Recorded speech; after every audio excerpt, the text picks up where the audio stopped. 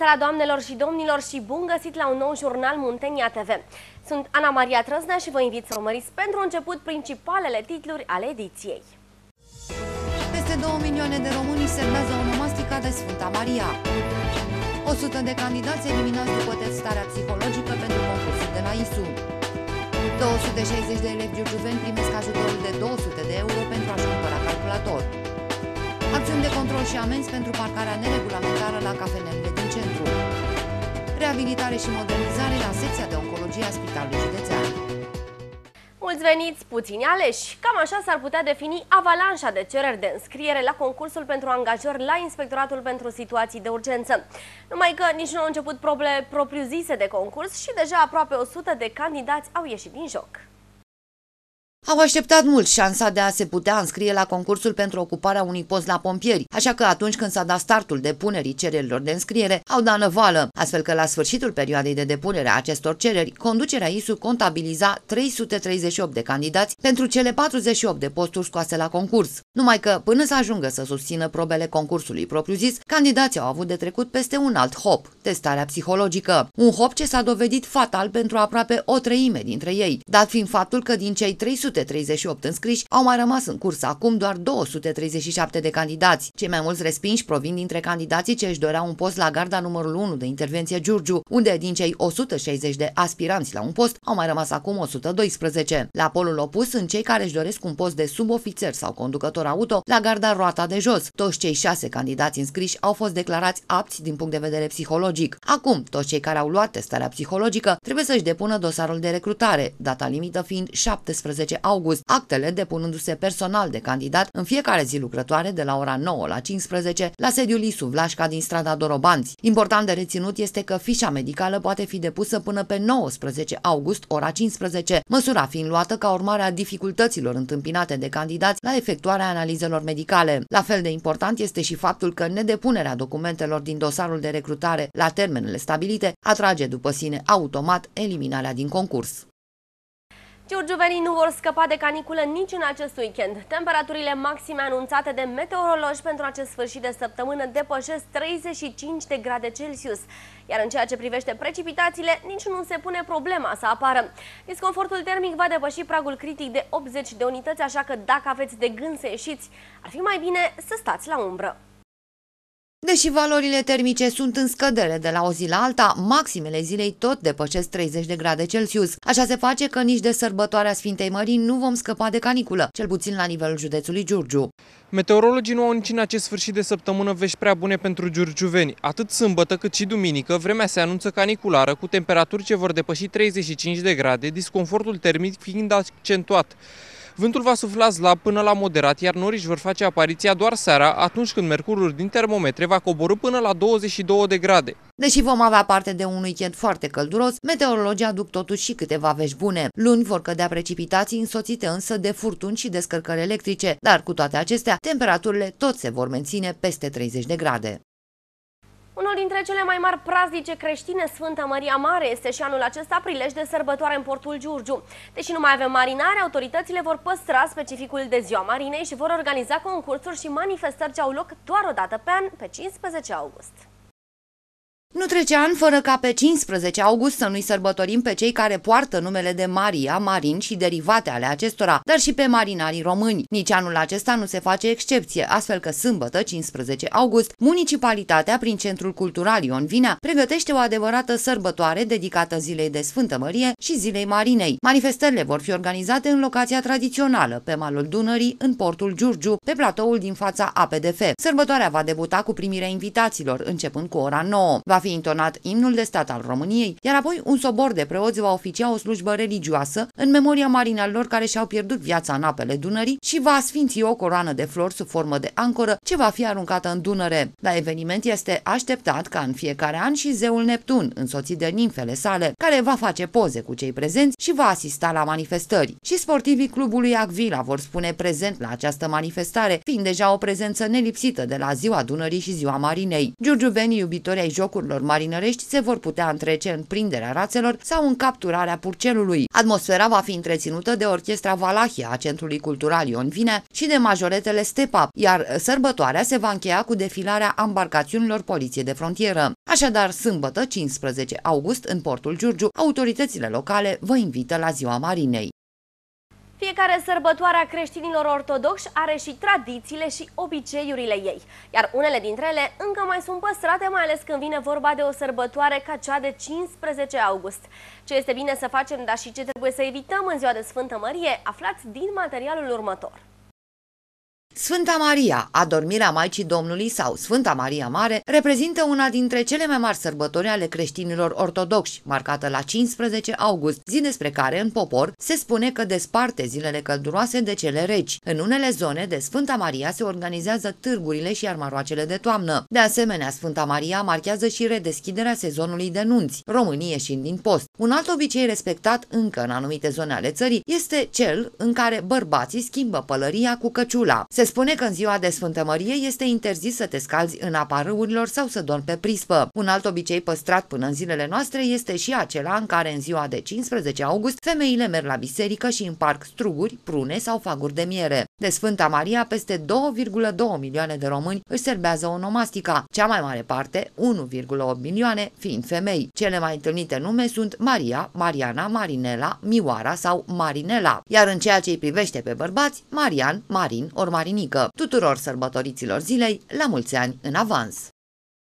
Casa de Asigurări de Sănătate a declanșat o anchetă după ce s-a constatat creșterea numărului de servicii medicale acordate în iulie, lună de concedii. Mai mult de jumătate din tichetele pentru persoanele juridice din programul RABLA au fost deja rezervate, iar Comisia Centrală Arbitrilor ia primele măsuri împotriva lui Sebastian Colțescu după meciul Astra-Steaua. Despre ce este vorba aflăm din rubrica Flash.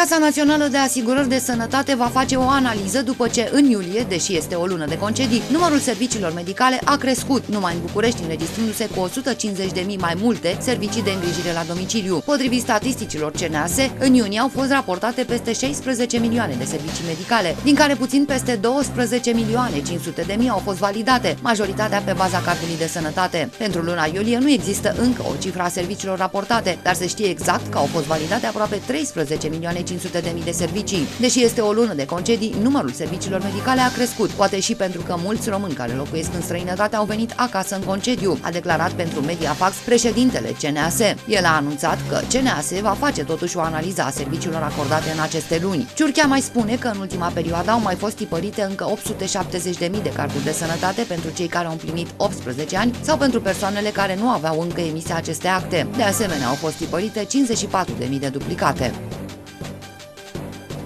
Aproximativ 14.000 din cele 25.000 de etichete puse la dispoziția persoanelor fizice și juridice pentru achiziționarea de autovehicule noi prin programul Rabla 2015 au fost rezervate. Până în prezent, la registratura Administrației Fondului de Mediu au fost depuse peste 1500 de dosare de către persoanele juridice și instituțiile publice. Au fost analizate 831 de dosare, din care 411 au fost acceptate pentru 1380 de autovehicule și 420 de dosare au fost respinse. Lista persoanelor juridice și a instituțiilor publice care au fost acceptate în program este publicată pe site-ul AFM, la secțiunea aferentă programului. Printre noi beneficiari ai programului Rabla, dintre persoanele juridice, se numără Agenția Națională de Administrare Fiscală, care a rezervat 118 etichete, în timp ce direcțiile sale regionale din Brașov și Dolj au mai rezervat alte 10. MAI, Direcția Generală Logistică, 77 de etichete, Garda de Mediu 63, Check Bank 53 de etichete, Autoritatea Rutieră Română 14 etichete. Alte 67 de etichete sunt rezervate de o unitate militară din București, a cărei contestație a fost acceptată după respingerea inițială a dosarului.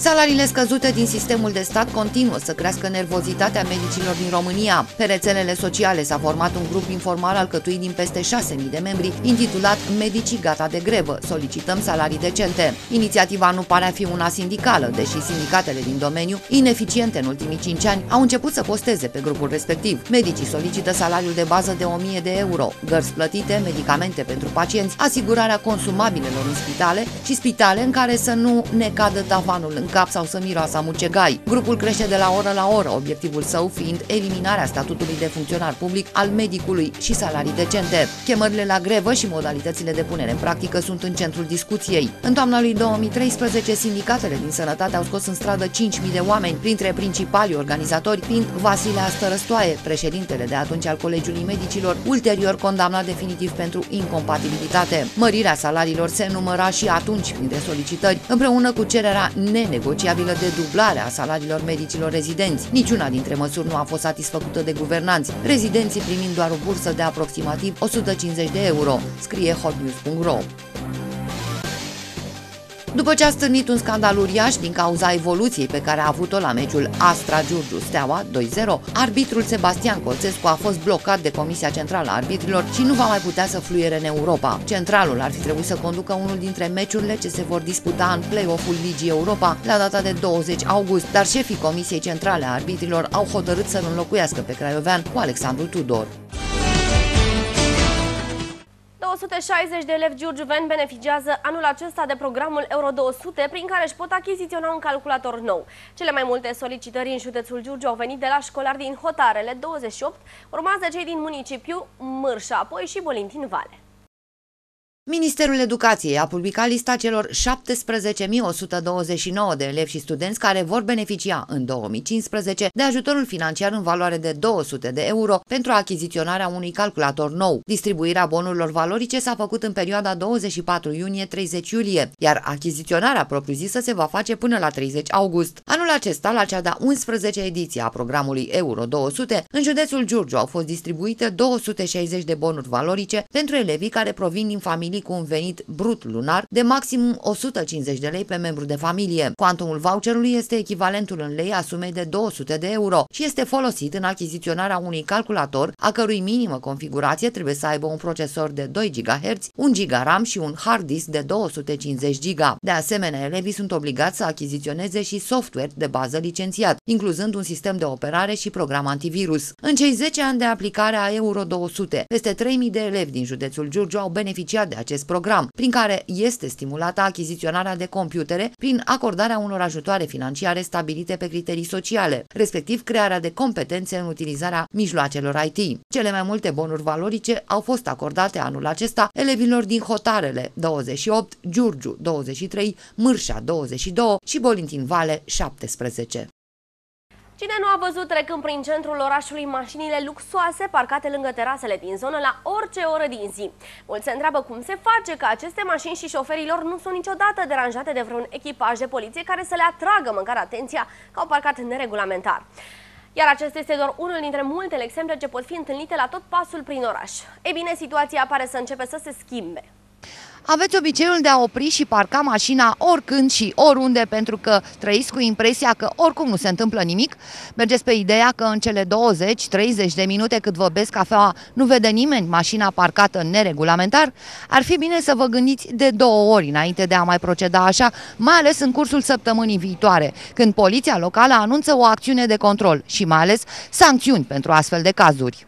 Polițiștii de la local au pus ochii pe mașinile parcate zi de zi în zona cafenelelor din centrul orașului, așa că în perioada 17-22 august vor trece la aplicarea unui plan de acțiune ce îi vizează pe șoferii care ignoră absolut toate legile și regulamentele, închipuindu-și că pot face chiar tot ce vor, fără a fi vreodată trași la răspundere. Potrivit unui comunicat de presă al poliției locale, acțiunile vor demara luni seară și vor continua până sâmbătă viitoare, urmărindu-se respectarea prevederilor legale privind staționarea și oprirea vehiculelor. Polițiștii spun că șoferii care vor fi surprinși parcând neregulamentar vor fi sancționați în conformitate cu prevederile legale, valoarea amenzii fiind între 2 și 3 puncte amendă, între 210 și 315 lei și 2 puncte penalizare.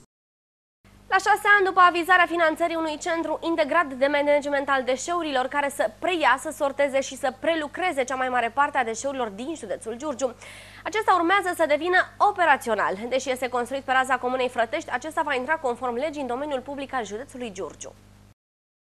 Consilierii județeni au aprobat la începutul săptămânii un proiect de hotărâre vizând trecerea în domeniul public al județului Giurgiu a Centrului Integrat de Management al Deșeurilor Frătești, rezultat din implementarea proiectului Sistem de Management Integrat al Deșeurilor Solide în județul Giurgiu. Comisia Europeană a aprobat în septembrie 2009 finanțarea nerambursabilă a proiectului de construire a unui depozit ecologic care să preia în sistem integrat deșeurile solide din județul Giurgiu. După o lungă căutare a unui loc de amplasament care să nu fie contestat de localnici, Centrul Integrat de management al deșeurilor a fost construit pe teritoriul administrativ al Comunei Frătești, dar potrivit legii, județul Giurgiu va fi proprietarul tuturor bunurilor nou realizate prin investiții în cadrul proiectului. Întrucât proiectul a fost finalizat, depozitul fiind acum operațional, era necesară îndeplinirea formalităților legale pentru trecerea în proprietatea publică a județului Giurgiu a investiției rezultate din implementarea proiectului, lucru care s-a și făcut marți în ședința extraordinară a Consiliului Județean. În pregătirea procesului de reacreditare în Spitalul Județean Giurgiu se fac noi investiții pentru a se ajunge la standardele legale impuse pentru obținerea acestei acreditări. Pentru aceasta, consilierii județeni au aprobat suplimentarea fondurilor alocate spitalului cu suma de 135 de lei, bani care vor fi investiți în secția de oncologie și în morga unității.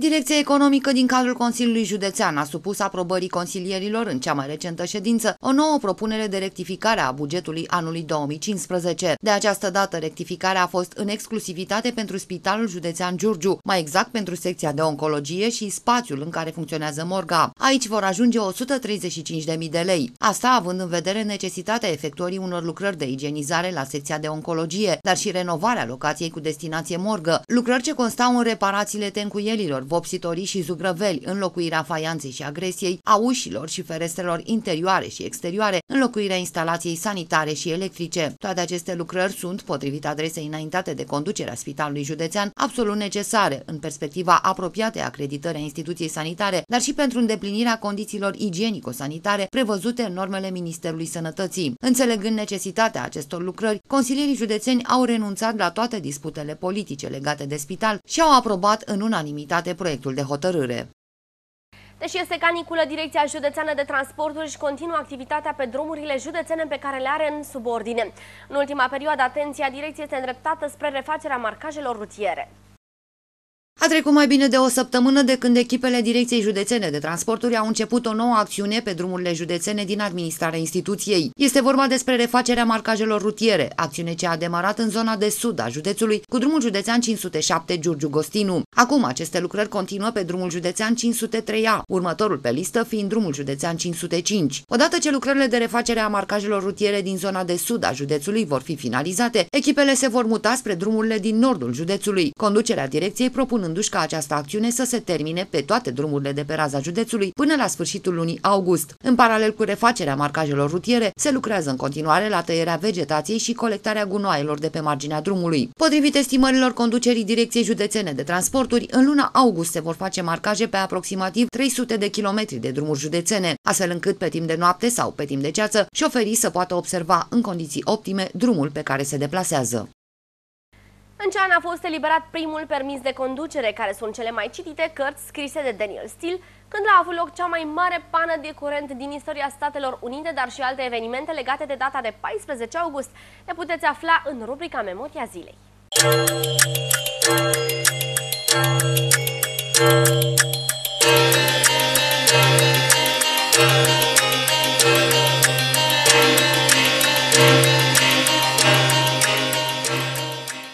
Anul 1893, la data de 14 august, a fost eliberat primul permis de conducere din lume. Șeful poliției din Paris a prezentat atunci o referință prin care se certifica abilitatea de a opera un vehicul de transport cu motor mecanic. Din păcate, cu timpul, numele celui care a avut onoarea să devină primul om din lume care a primit un permis de conducere s-a pierdut în firele istoriei. Un alt eveniment al zilei de 14 august datează din anul 1916, atunci când România a declarat război Austro-Ungariei, intrând în prima conflagrație mondială pentru eliberarea și întregirea patriei. Una dintre cele mai cunoscute scriitoare din lume s-a născut la data de 14 august 1947. Daniel Steele, căci despre ea este vorba, este numită de Guinness Book ca fiind cea mai citită romancieră din lume. Ea a reușit să vândă peste 580 de milioane de exemplare ale cărților sale în 47 de țări. 22 din cărțile scrise de Daniel Steele au fost folosite ca tipar pentru film, printre acestea numărându-se Inelul Secrete, Mesaje din Vietnam sau Odată în viață. Un ultim eveniment petrecut pe data de 14 august și prezent în memoria zilei este legat de Statele Unite. În anul 2003, la această dată erau înregistrate căderi masive de curent electric, ce au provocat haos în orașe mari precum New York. Pana de curent din 2003 este considerată a fi cea mai mare din istoria Statelor Unite, peste 50 de milioane de oameni fiind afectați. În timpul acesteia, semafoarele s-au blocat, căile ferate subterane au fost evacuate și sute de mii de oameni au fost blocați în lifturi. De asemenea, șase aeroporturi din zonele afectate au fost închise timp de mai multe ore.